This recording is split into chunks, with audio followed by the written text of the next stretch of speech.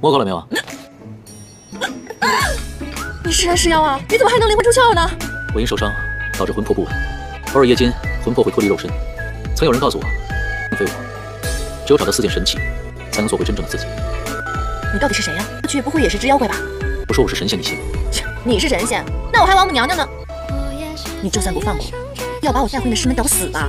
你身上没有妖气，是死是活就看你自己了。掌门寿辰将近，正好带你体会清正门风，好好洗涤一下你的妖心。在这发什么脾气啊？拿一只小乌龟出气，算什么英雄好汉？小人，怪不得紫菱会睡在棺材里。有这种三规怪体之人，竟然被我撞上了一个。好吃吗？好吃好吃，来一个。嗯。你怪吓人呢在那。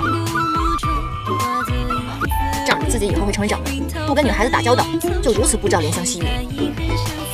过早，剥你行家，赏你什么？剔牙不行啊！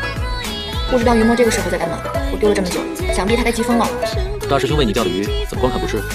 实不相瞒，我有一位好朋友，他的真身就是鱼。我跟他待久了，早就不吃鱼了。你不是花精吗？哪来的鱼朋友？你别想着逃跑了。吃完这顿饭，把外面晒的书都给我拿回来。忘恩负义的小人！既然呢，你说我忘恩负义，那你也别指望我放你出去。